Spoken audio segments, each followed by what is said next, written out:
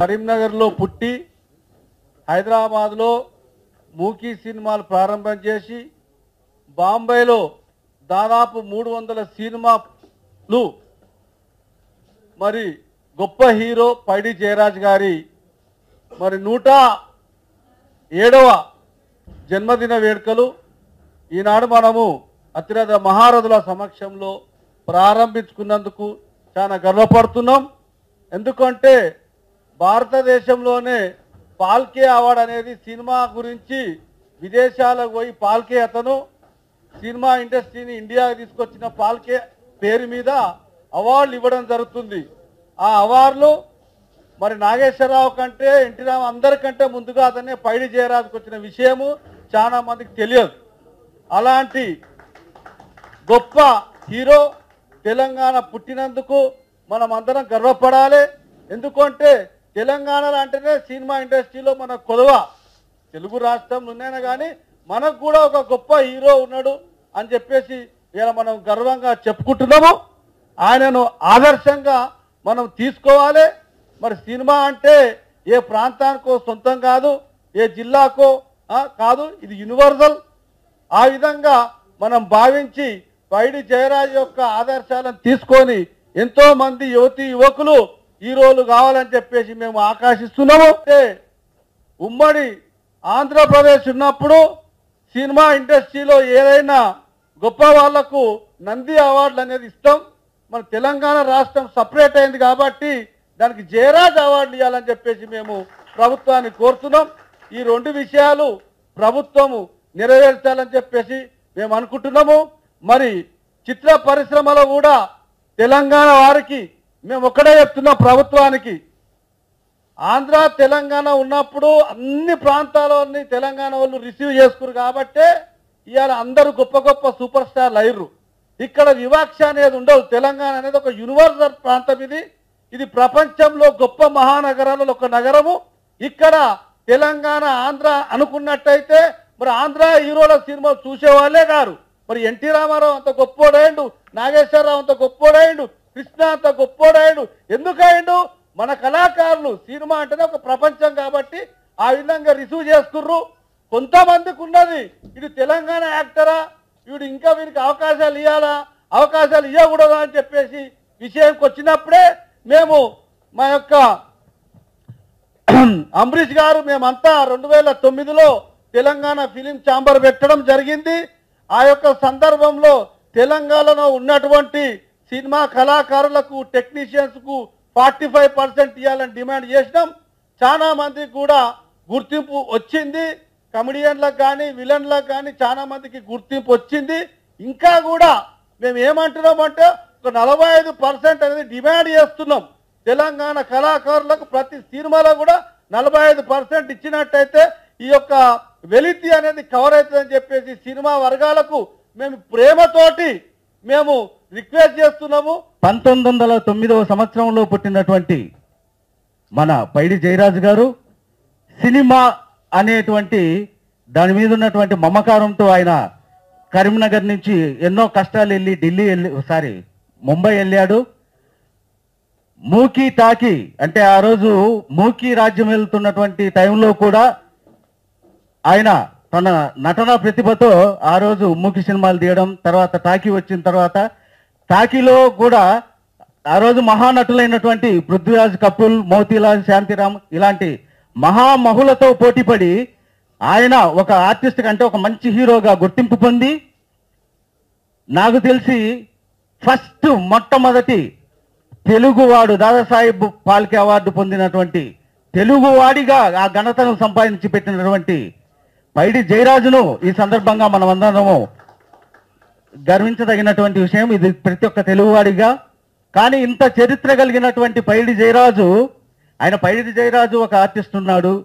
ఆయన కూడా సినిమాలలో తీశాడు అన్న విషయము కొంతమందికి తెలుసు కానీ ఆ పైడి జయరాజు కరీంనగర్ జిల్లా వాసి ఆయన మన తెలంగాణ గడ్డ మీద పుట్టినటువంటి బిడ్డ అన్న విషయము అది కనుమరుగైపోయింది. అంటే ఆ చరిత్ర వెలుగులోకి రాలేదు.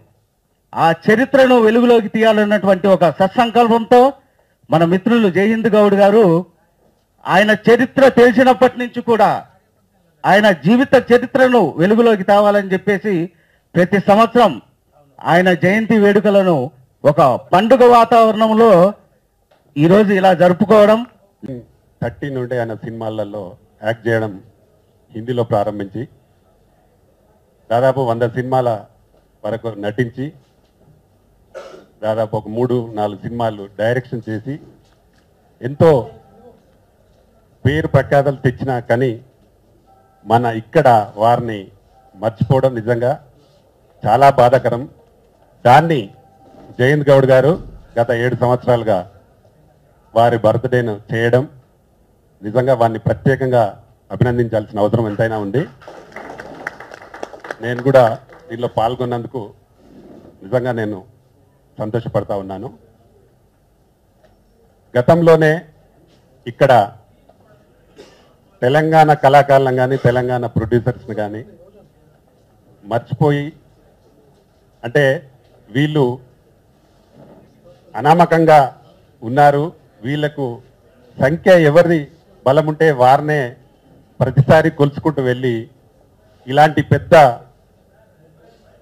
పేరున్న వారిని కూడా విస్మరించి బలమున్న వారిలోనే అంటే ఐక్యత ఎక్కువగా ఉన్న ఒక కులం కానీ ఒక వర్గం కానీ వాళ్ళ వాళ్ళ దాంట్లో ఉన్న వాళ్ళనే వాళ్ళనే పొగడుతూ వాళ్ళనే ఇక్కడ బొమ్మలు పెడుతూ ఇలాంటి మంచి నటుణ్ణి ఇక్కడ పుట్టి ఇక్కడ ఉన్న ఇంత పెద్ద ఆర్టిస్ట్ని అతని ఫోటోను కూడా పెట్ట పెట్టకపోవడం నిజంగా శోచనీయం. ఎందుకంటే ఈ ఛాంబర్లో ఎవరైనా అడిగితే అంటే వాళ్ళ సంఖ్య బలం ఉంటుంది కాబట్టి అడిగిన ప్రతి వ్యక్తిని పక్కకు పెట్టే ధోరణి అవలంబిస్తుంది ఈ ఛాంబర్. కాబట్టే అంటే ప్రతి దాంట్లో ప్రతి దాంట్లో వివక్షకు గురైంది కాబట్టే తెలంగాణ కావాలని అన్ని సంవత్సరాలు కొట్లాడి తెలంగాణ తెచ్చుకోవడం జరిగింది. అది వచ్చిన తెలంగాణలో కూడా ఇంకా ఈ సినిమా ఫీల్డ్లో ఆ వివక్ష ఇంకా జరుగుతూ ఉంది కొనసాగుతూ ఉంది. అది కూడా ఏదో ఒక రోజు వస్తుంది. మనం మనం మొన్ననే చూసాము. కర్ణాటకలో జరిగింది తమిళనాడులో కూడా జరిగింది. అది కూడా అలాంటి రోజులు తెలంగాణలో కూడా వస్తాయి. ఈరోజు పైడి జయరాజు గారి సంతాప సభ. సంతాప సభే. ఎందుకు కావాలని అన్నాను ఎందుకంటే ఆయన చరిత్రను కావాలని ఇష్టపూర్వకంగా సమాధి చేసిన రాష్ట్రం దేశం అందుకన్నాను ఇది కుట్రండి ఒక కుట్ర. లేకపోతే స్వాతంత్రం రాకపూర్వమే మనం స్వేచ్ఛగా గాలి పీల్చడానికి అవకాశం లేని రోజుల్లోనే మనం ఎలా బతకాలో తెలియని రోజుల్లోనే మనకు మాట్లాడే స్వేచ్ఛ బతికే స్వేచ్ఛ లేని రోజుల్లోనే ఒక తెలంగాణ గడ్డ మీద పుట్టిన ఒక వ్యక్తి ఎక్కడ బాంబేకి వెళ్ళేసి ఒక సినిమాలో హీరోగా నడిచినామంటే ఒక చరిత్ర అది. అటువంటి చరిత్రను ప్రతిరోజు సమాధి చేస్తున్నారు ప్రతిరోజు సంతాప జరుపుకోమంటున్నారు. ఈరోజు పైడి జయరాజు గారి జయంతిని మనం నలుగురం కలిపి చేసుకోవాలా? ఇది సినిమా పరిశ్రమ బాధ్యత కాదా? ఛాంబర్లు నిర్మాతల మండలిలు అంటే వీరంతా కూర్చొని అధికారంలో చెలాయిస్తూ పదవుల్లో ఉంటూ అనుభవించడానికేనా? ఒక చరిత్రను మరుగున పరుస్తున్నారు ఒక చరిత్రను సమాధి చేస్తున్నారు. అటువంటి మరుగున పడిపోతున్న చరిత్రను మట్టిలో ఉన్న మాణిక్యాలను వేగదీయడం కోసం జయహింద్ అన్న చేస్తున్న ఈ కృషి నిజంగా అభినందనీయం. ఒక వ్యక్తిగా అలాగే సమిష్టిగా అందరూ కలుస్తున్నాం ఒక వ్యక్తిగా పోరాడుతున్నారు. అలాగే సర్దార్ సర్వాయి పాపని కూడా చరిత్ర కూడా ఆయనే. అంటే మరుగున పడిపోతున్న చరిత్రను వెలికి తీయడం కోసం తన జీవితాలను అంకితం చేస్తున్న వ్యక్తుల చరిత్ర లిస్టులో ఆయన ఉంటారు. ఇది ఒక్కటే కాదు. ఇందాక అన్నారు నంది అవార్డుల పద్ధతిలో ఒక అవార్డును పెట్టాలని చెప్పేసి.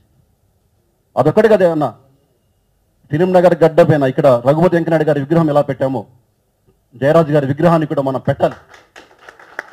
దానికి ప్రభుత్వాన్ని అడిగితే లాభం లేదు ప్రభుత్వం ఇయ్యదు. అనవసరం మన ప్రయత్నాలు వేస్ట్. తెలుగు నాటే కాకుండా సౌత్ ఇండియాలోనే దక్షిణాదిలోనే మొట్టమొదటిసారి సినిమాలు నిర్మించి మొట్టమొదటిసారి ఎగ్జిబిటర్గా మొట్టమొదటిసారి డిస్ట్రిబ్యూటర్గా మొట్టమొదటిసారి డైరెక్టర్గా మొట్టమొదటిసారి ప్రొడ్యూసర్గా ఉన్న రఘుపతి వెంకయ్య నాయుడు గారి విగ్రహాన్ని పెట్టమని చెప్పేసి కేబీ తిలక్ గారు మా గురువు గారు ఎన్ని వందల సార్లు ఆయన ఆరోగ్యం బాగలేకపోయినా మూత్రపిండాలు పనిచేయకపోయినా రేపం బాబో చనిపోతానని బాధ ఉన్నా చివరి శ్వాసను అలా గు- పట్టుకొని ఈ ప్రభుత్వం చూడు తిరిగారండి. ఏ ప్రభుత్వం ముందుకు రాలేదు. రాలేదు.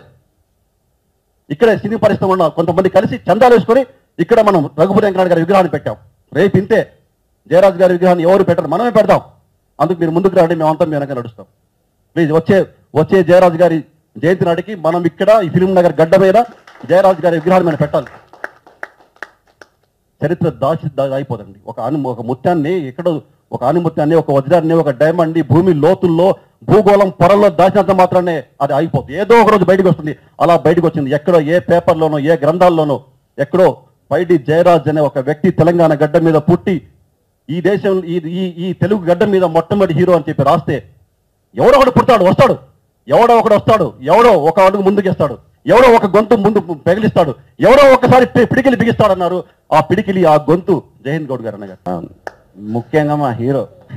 ఎందుకంటే రజనీకాంత్ ఎందుకు పోలుస్తున్నా అంటే ఒకరోజు నాతో అన్నాడు రజనీకాంత్ ఇంత ఏజ్లో చేస్తున్నప్పుడు మనం ఎందుకు చేయకూడదు? మనం ఎందుకు ఎంకరేజ్ చేయరు?